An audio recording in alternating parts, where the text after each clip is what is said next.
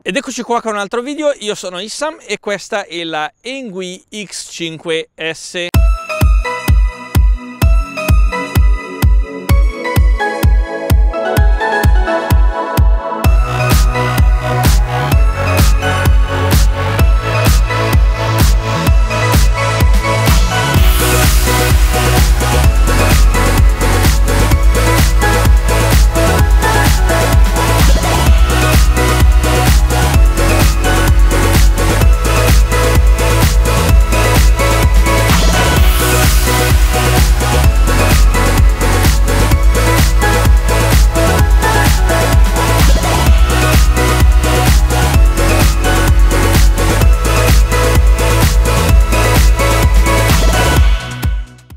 Questa bicicletta ci sono varie versioni con varie potenze di motore, la mia in particolare ha una potenza di assorbimento di 350 watt, esiste anche la versione da 400 watt ma la mia in particolare ha una trasmissione cardanica che ero molto curioso di provare e ho provato. E adesso vi dirò che cosa ne penso. Esiste anche in versione con la catena normale, non ha nessun cambio come potete notare, nessuna delle versioni ha un cambio. E per quanto riguarda la batteria anche lì esiste da 15 Ah come la mia versione, da 20 Ah o anche da 10 Ah. La batteria è ricaricabile sia direttamente sulla bicicletta ma si può anche tirare fuori tranquillamente e ricaricare a parte ed è disponibile anche, quindi uno potrebbe ordinare la bicicletta con due batterie eventualmente se ne avesse bisogno o potrebbe anche utilizzare la bicicletta addirittura senza. Per quanto riguarda l'inserimento della batteria è molto semplice, come avete sentito ha fatto beep beep perché questa batteria arriva con la chiave, la chiave serve a bloccare la batteria ma anche accendere la bicicletta, una volta accesa la bicicletta non si può tirare fuori la, eh, la chiave, una volta spenta però eh, si può tirare fuori la chiave, non eh, si estrae la batteria perché è bloccata e una volta inserita la chiave e sbloccata la batteria si può tirare fuori la chiave e anche la batteria. La batteria è da 13 celle in serie quindi 48,1 volt 54.6 quando è carica ovviamente. Mi ricorda tantissimo la Newbility B14 e Tutte e due le biciclette infatti hanno 14 pollici di diametro di ruota, sono delle mini biciclette ma elettriche, perciò se volete una mini bicicletta questa è una bicicletta. E non dovete lamentarvi che la mini bicicletta è piccola perché infatti va acquistata come tale. Non solo, per quanto riguarda eh, l'estensione della gamba non serve estendere la gamba eh, completamente perché la pedalata in una bicicletta elettrica serve solamente ad attivare il motore. Ovviamente se state cercando una bicicletta full, una bicicletta muscolare, sicuramente non sarà mini, altrimenti sarebbe come cercare un microcomputer e poi lamentarsi dello schermo che piccolo. Ma perché sto parlando di questo? Perché mentre nella Newbility B14 per me non era assolutamente un problema il fatto che la gamba non si possa estendere completamente perché come ho detto è una bicicletta elettrica e la pedalata serve solamente ad attivare il motore se no non avrebbe senso. Per quanto riguarda la Engui X5S per me che sono alto eh, 1,70 è un problema perché è un problema perché vedete che il mio ginocchio quando sale su e voglio curvare, fare una curva stretta, tocca il manubrio. Ovviamente per diminuire questo problema possiamo abbassare il sellino perché è ad altezza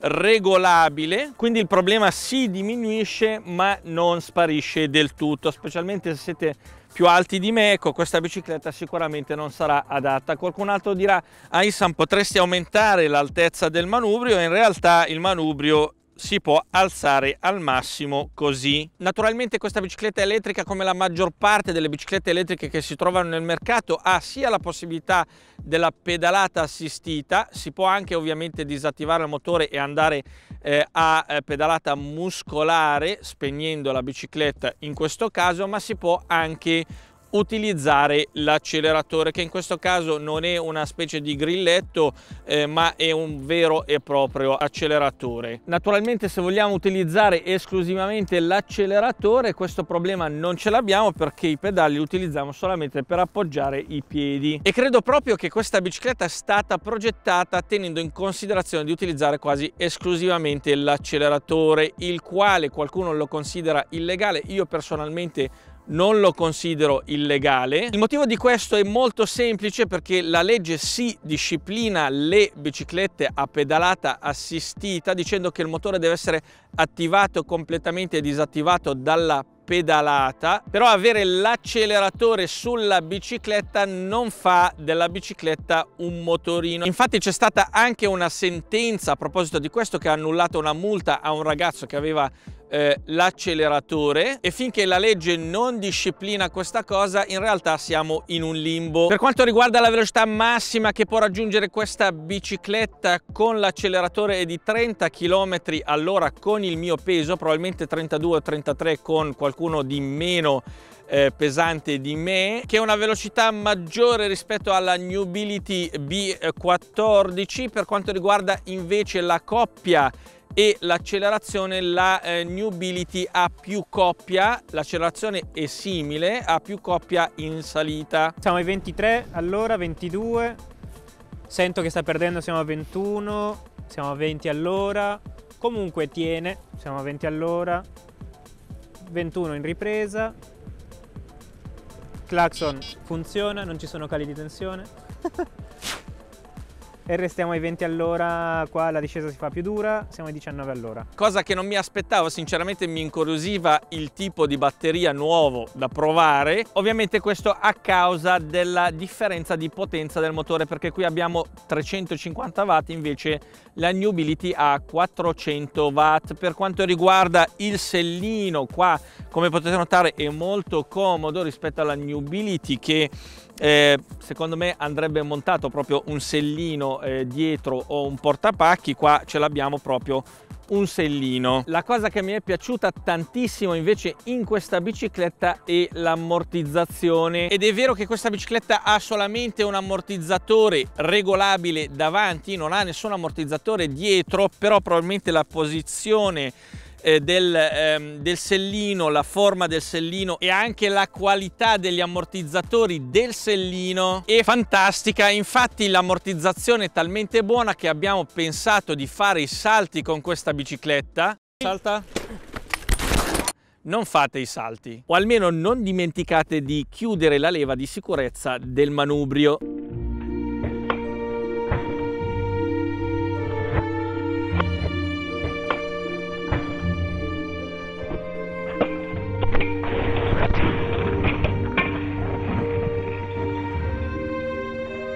Una cosa però che non mi è piaciuta di questa bicicletta è il fatto che la pedalata assistita arriva al massimo a eh, 15 km all'ora, non va oltre. E questa è un'ulteriore conferma che questa bicicletta è stata pensata da utilizzare con l'acceleratore. Quanto pesa questa bicicletta? Sul sito c'è scritto 30 kg in realtà io l'ho pesata ed è solamente 25 kg non so se eh, il peso sul sito era scritto eh, della versione con catena o della versione con una batteria da 20 Ah insomma questa versione pesa solamente 25 kg e quanta autonomia ha con una ricarica? Beh riesce a fare circa 40 km solamente con l'acceleratore. E purtroppo non ho potuto provarla con la pedalata assistita non tanto per questo problema qui ma perché come ho detto prima la pedalata assistita arriva solamente a 15 km all'ora. Per quanto riguarda la mia esperienza con la trasmissione cardanica, sinceramente a livello pratico di pedalata non ho trovato nessuna differenza, però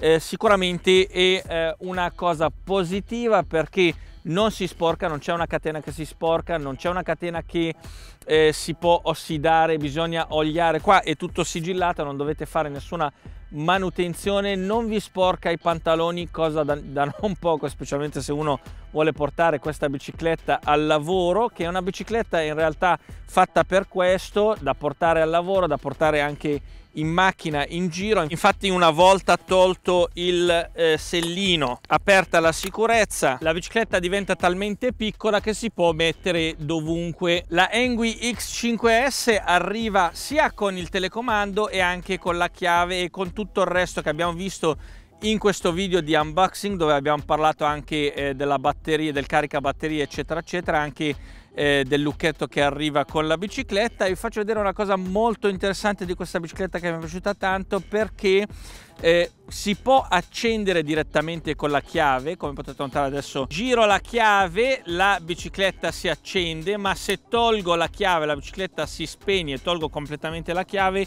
posso comunque accenderla o spegnerla o anche attivare o disattivare l'allarme direttamente con eh, il telecomando sul manubrio della parte sinistra abbiamo lo switch per accendere e spegnere le luci. Sono tutte e due luci a LED sia davanti che dietro, ma dietro abbiamo anche un catarifrangente. Per quanto riguarda la luce dietro funziona anche da stop lampeggiando una volta che abbiamo premuto la leva del freno. E i freni sono a disco meccanici sia davanti che dietro. Qui sotto abbiamo un altro switch, questo switch decide la velocità massima che si può raggiungere tramite l'acceleratore, proviamo la velocità 1 a vuoto, arriva a 20 km all'ora, 2 arriva a 24 km all'ora e 3 arriva a 29 km allora ovviamente come potete notare qui abbiamo la batteria scarica se no sarebbe arrivato a 35 km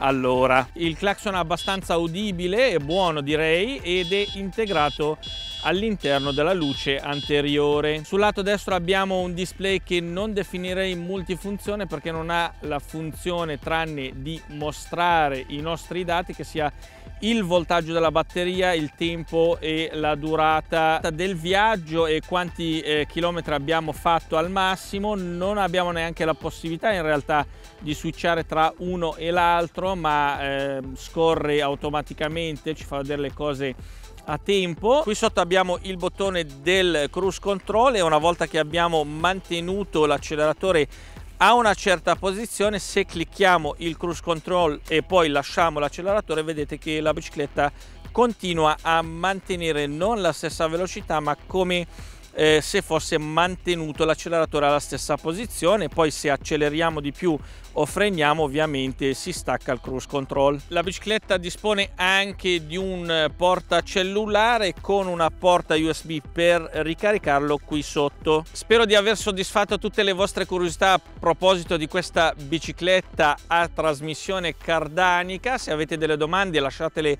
giù nello spazio commenti. Come al solito vi lascio il link e coupon sconto nella descrizione del video potete anche cliccare qua nel frattempo vi saluto e adesso scappo che sta per piovere